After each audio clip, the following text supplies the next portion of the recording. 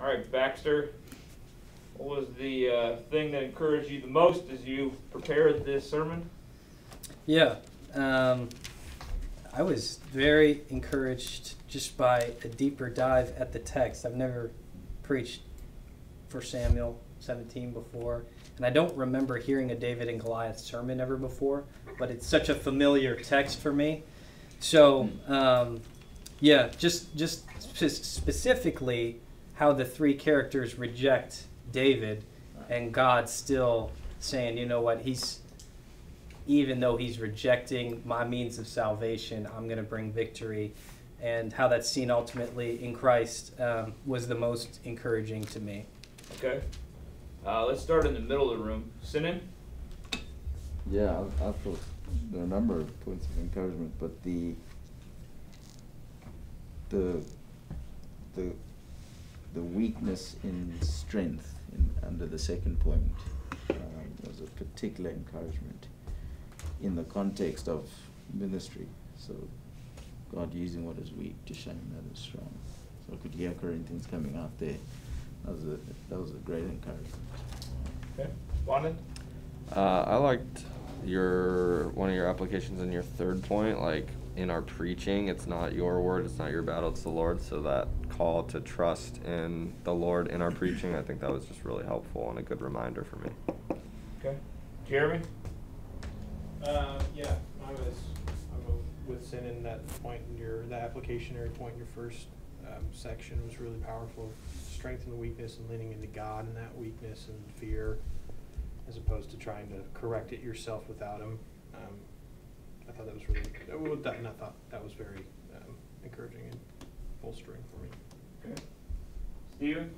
I think just as London said, allowing our weakness to project our faith, to trust in the Lord. All right. Ed? Oh, with everybody else, I like that piece about how our inadequacies should constantly remind us to put our trust in Him. I was just encouraged about the whole tone of the thing, just very encouraged, but those, particularly those applications were very helpful. Yeah. Uh, the most encouraging part to me, uh, to pick a different one, is this idea that uh, faithful deliverance in the past should give us confidence for faithful deliverance in the future. Just the way that you talked about that, I thought was particularly helpful and encouraging. Uh, what do you think you just missed? Maybe you tried, maybe you just completely forgot, but didn't make it. Yeah, um, there were. So this was a challenge for me, just the length of the text. So Right. as you guys know, heard. I mean, the very end. I just briefly talked about the end of the text, and I did feel that the first point just took a lot to get into, even before any application. I, I felt like maybe I put too much pressure on myself to give too much context right up front or to explain too much of the story. And um, and so that was something I feel like I can improve on, just balancing explaining versus preaching. Right. Sin? So I agree with that, um, and thank you for that. So just under that first point, um, so people accept the Lord's victory. Sorry, I'm reading the third one. People forget the Lord. Is that right? Yeah. People the forget people the accept the victory of the Lord. So the first one is that people forget the Lord's victory. The, pe- the people forget the Lord. The Lord, okay. So you then applied it to fear at the end of the the point, and I thought just wielding it back to your forgetting. So the the fear, you left it in the fear aspect, Mhm. which wasn't quite your point. Right. So just thinking about it's a minor thing, thinking about, I thought the fear point was great, but just bringing it back to It what you, tied back yeah, into the forgetting. forgetting the Lord. Yeah. yeah. Mm. That help you strengthen that. Yeah. Bonin? Um, in a, in a passage like this that, that was really kind of dense, I feel like you had a lot of really good application, but I wonder if it would have been better to have fewer points that you went deeper on rather than like a lot of kind of, you know, like shorter little application points. Um, Okay. yeah, I appreciated the application you had, but I wonder if it would have just been helpful to have fewer Yeah. that dove deeper. Yeah. Kevin? Uh, I didn't think you needed to go to the Hebrew to show that he was a representative. Uh, especially because then that was your very next thing that you did was, look, he's the guy that's going out and if they kill Right. him, so. Yeah. Yep. Jeremy? Um, yeah, I've only got really small ones because I thought it was really good. Uh, I guess, uh, so yeah, the introduction, I'm not a sport dude. Um, I don't sport well. That's why I'm a large. uh, that's why I act. Um, which that has nothing to do. Well, it does have. Uh, so the sideline point, I think you twisted it well, but maybe could have used a little more explanation because I was like, well, that dude on the sidelines, who cares about him? He didn't do anything. So he sucks to. I don't like him. So, but then you kind of use that to say uh, that's kind of where they, or, I, now I can't remember how you used that. I could be talking out my butt now. Um, but it just seemed like that sideline character, which I do a lot in this class. Um, I wasn't quite sure if it. It was a good image, but I'm not quite sure if it pushed you far enough. I'm thinking in my head right now. It's, I'm saying that you used that to say God was put on the sidelines, or how did you use that? Sorry. uh, ultimately to show how the people yeah it's a fair point because i wielded it in different ways so it was probably it wasn't consistent Okay. because i had language saying god was on the sideline i had language explaining that the um, the people were on the sideline and were still given victory so that's probably what caused the confusion because it wasn't used in a consistent way so that's that's good feedback yeah. Part of it's just me, but yeah, it's just that it's God on the Okay. sideline and not. Yeah. Stephen? Um, I enjoyed it, but this is about, um, one thing to critique here though. Um, I would say, well, it was a long passage and there was a lot of content. Mhm. Um, I still needed maybe a little bit more repetition with some things, so that they Mm. could, could sink and Yeah. stay, stay with me. Yeah. Because you gave a lot of content. Okay. Ed? So I think that um,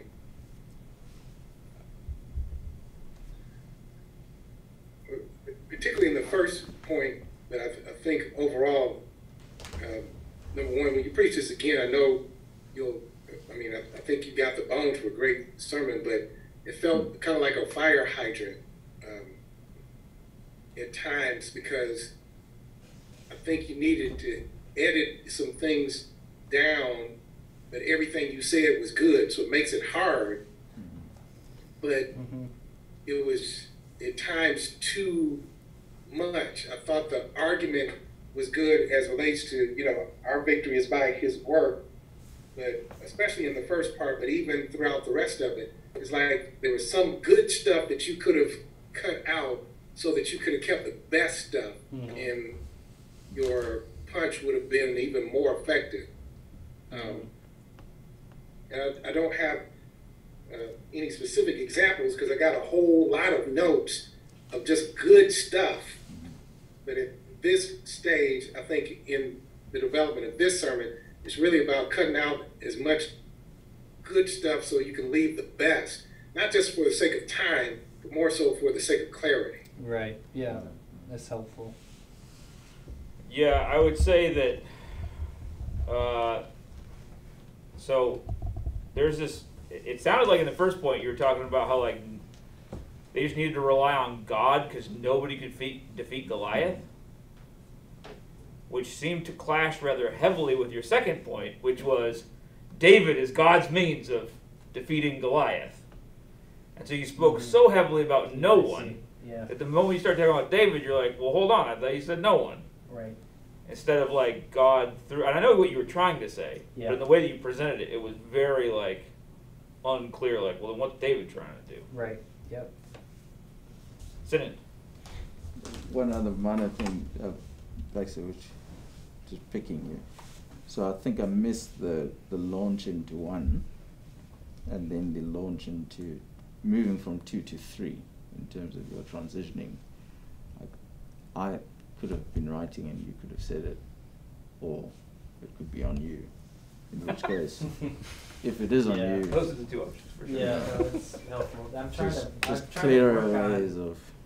Yeah, transitions. Yeah. I think two to three Yeah. definitely could have been clearer. And then one, I tried to, I actually tried to like make a nice transition, but it could have been too wordy that you actually got lost in Yeah, my I think I got lost transition in the words, statement.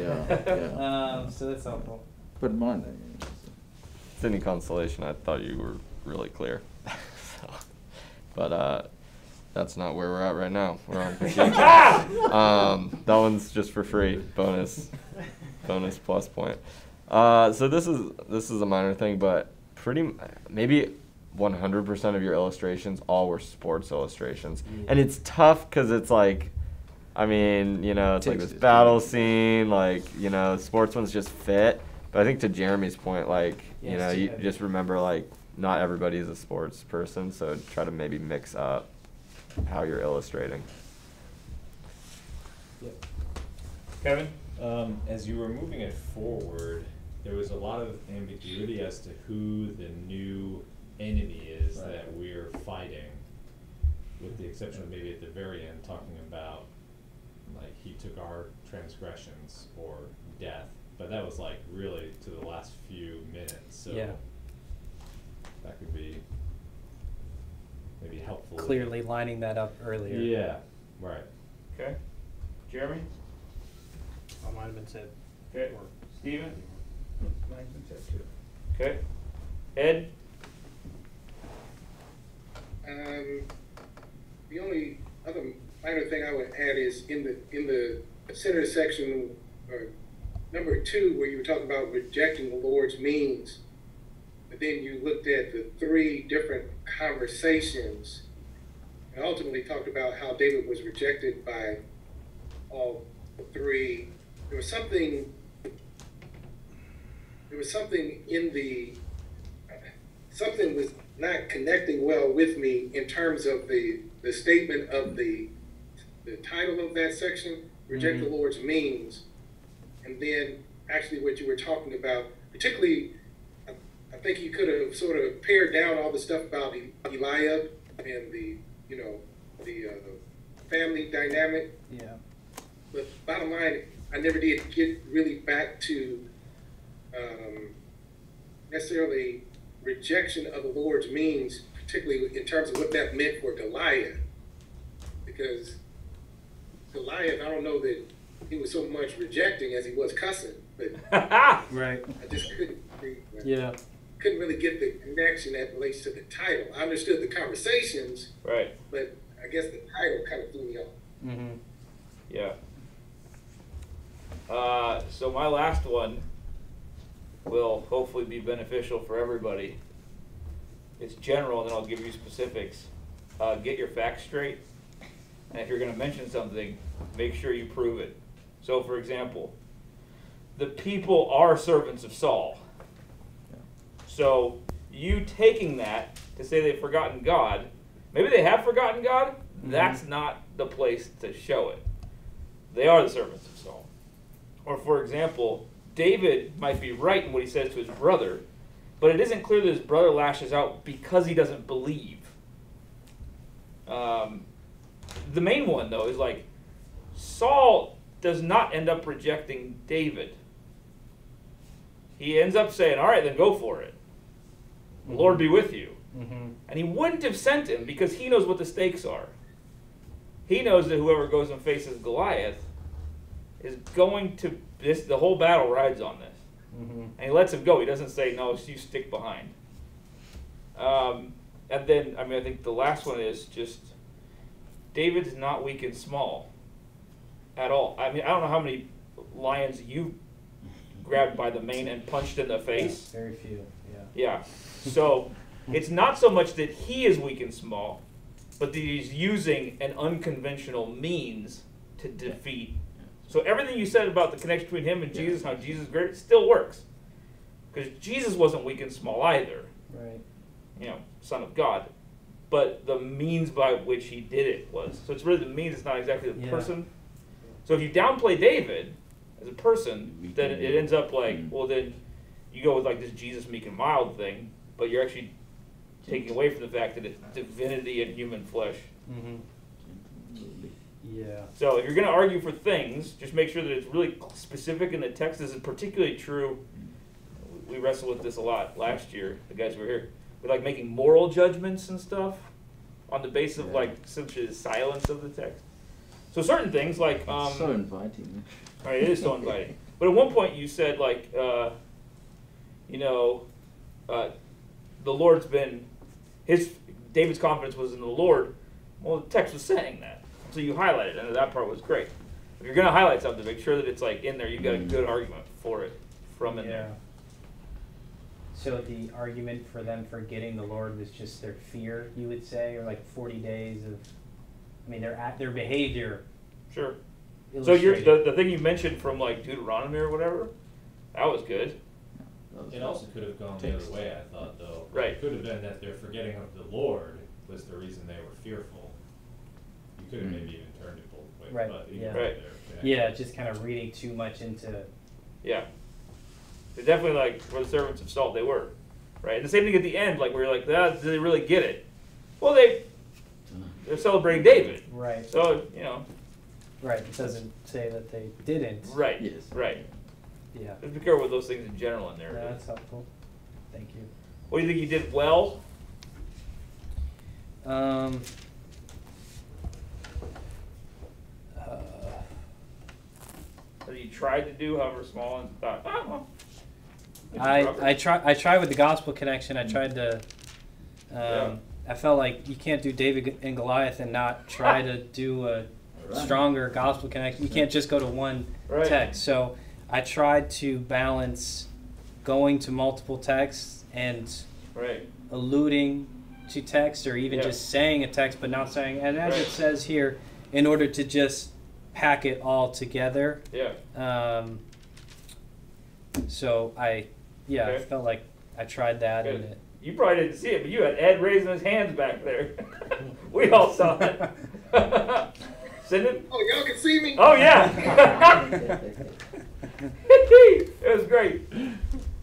Yeah, I thought, I thought that was very a strong point, man. You not only connected to the gospel, which we tried to, but wielded it for application to urge the the ongoing trusting in the Lord for His battle. So I thought that was, and then you you warned us uh, off the back of your gospel connection. So Mm. that warning landed with power because you'd so set up, you'd taken the gospel right at, right to the end, uh, Revelation five. So that was really helpful. So I uh, I thought your intro was good. Um, obviously, you know, people gave you some feedback on it, but what I liked about it was that it was quick. It was like the perfect length. You came in, gave us this illustration that I think you know we were able to kind of see like where you were going with it, and then you got to your points, your main point, your sub points, and then you were into the text. And with the 58 verses, like it was the perfect length. So that was well done. Okay. Yeah. Kevin. I'm much more excited about my corrections than I'm being encouraged. uh, I'm gonna start using that. I uh, I actually appreciated your the way you twisted sidelines a bunch of different ways, and like God was on the sidelines and they were on the sidelines, and you shouldn't put Jesus on the sideline. Um, so while it may have been confusing for like the non-sports guy, like I'm a sports guy, so I really liked it. Landed with the sports guys. Yeah. Thanks, Ken. Jeremy. Uh, yeah, I will go on the converse of Bon, one of Bonan's points. I liked all the slew of kind of small applications here or there. Um, because while I am not a sports guy, I did still get a lot of them. Just so we're just so we're clear. That we're um, no, but uh, realistically, I did really like them because I I think because it is such that you had so much text and you were helping us through it, right? You weren't just leaving us to be like, "What's what?" You know, you were like, "Here we're walking." It kind of helped to give those moments of like pause and relief of like, Mhm. this is a heavy biblical text and a lot of verses, right? And so I think, I think while, while you do have maybe be careful sometimes, I think in this it was a perfect use of small applications here or there, and then bigger ones when you kind of got to the end of your points. So I, I really liked them. I thought they were helpful. Thanks, Okay. Jeremy. Steven. I liked how you, you you kept, kept us, kept me engaged, even though it was a a lot of material, a lot of text, but yet you kept my attention and it's like you drew me to that conflict and the climax, you know. And So you, um, your emotions radiated all of that in your language, so Mm. You kept me in there. Thanks, David. Ed? So your argument, your victory is by his work was just crystal clear, uh, organic from the text. You you kept circling back around to it, and it just uh, was satisfying in the sense that you said that's what your argument was going to be, and then ultimately that's what your argument was. So by the time we got to the end, uh, particularly with your gospel connection runs, I felt very satisfied. Uh, not only in, that you did what you promised you were going to do with your argument, but your but your argument was strengthening to me. Um, It Mm. wasn't just theoretical; it was actually you, you applied it really well, so that I came away strengthened and not just informed. Okay, Thanks, good. Yeah, I think that you uh, did a good job at preaching this text as if it were a narrative, right? So, uh, and without getting like lost in the story, which is somebody like my temptation, or preaching it like an epistle, right? It was just kind of nice weaving out where you're clearly preaching from this narrative, but in a way that tracked with the narrative that I thought worked pretty well. Thanks. Yeah, uh, another way I, I would put that is your speed through the points was so. It's like you, you practiced it a lot of times and you're moving through the story. Um, and I found that the moments when you did slow down, it was to bring light via one word, a word picture, or a line of illustration. So I thought that was, I was like, wow, okay, I'm tracking. I mean, now, you know, you know, you've studied your text, and we're moving, we're going somewhere here, and we're heading to that gospel connection. So that was great, man. Felt like you wielded the Bible in two helpful ways. First of all, your context work I thought was solid, um, not just in Samuel, but like you went back to Deuteronomy, and then when you pushed forward in your gospel. But then I also felt like there were, you know, maybe two or three times where you read a short excerpt from the text, and I thought each time it was intentional and helpful to hear whatever it was that you read, so it wasn't like wasted words. Um, so yeah, I thought that was well done. Thanks. Uh, one of the things I thought was good and was also the most encouraging for me was actually your move to what that future victory is and your passion on it, moving to First Corinthians 15 and then ultimately uh, Revelation 5. Um, and yeah, the conviction with which you're stating that there is victory, especially even the victory word showing up in the First Corinthians Mhm. 15, just really like tied the knot. So I thought that was great. Thanks, Kevin. Yeah, I'll double up on synonyms. I thought because it's something I still struggle with too. And s- from the last time I heard you to this time, your speed was a, it was good. You had you slowed down at good moments. You had it contr- under control, and when you hit that speed train, it was in the gospel where you were getting excited and elevating us all. And so I thought you that just it was a huge, huge improvement from Mm. uh, the first time I saw you, which Thanks, man. I'm sure you worked a lot on. So. Steven? And I liked um, the gospel connection for sure, how you drove that home, Mhm. and also um, just a lot of the applications that you was making throughout the sermon. Thanks, Ed? So, though the uh, shape of the sermon in terms of the time allotted to the different, um, your different points can be adjusted, the trajectory of the sermon, I thought, uh, perfectly matched the trajectory of the text. You you tracked you tracked well with the terrain of the text, and you you landed you landed real well. I felt that uh, the overarching sort of just um, feel of the sermon in terms of the movement piece was, was really was really well done and very satisfying. Not, again, not just oratorically, but uh, spiritually speaking, just very encouraging. The way the way the punch landed, it landed squarely. So I appreciated that. Thanks, Ed. Yeah, most might have been said, so I'll just say in closing that like you had a lot of good lines in there Hmm. that were uh, not just like catchy or witty, but actually helped do your thing. So the whole kind of idea that God chooses to work with his hands behind his back and, um, you know, that, that sidelines thing that Kevin pointed out. And then just constantly this thing of this victory in the past was guarantee of victory in the future. But just, you spoke about it well. You didn't just like mumble along about it.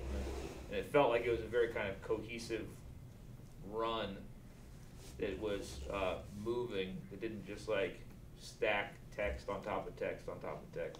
Mhm. So that was helpful. Thanks. All right. Right on. Thanks, gentlemen. There we go. Thank you very much.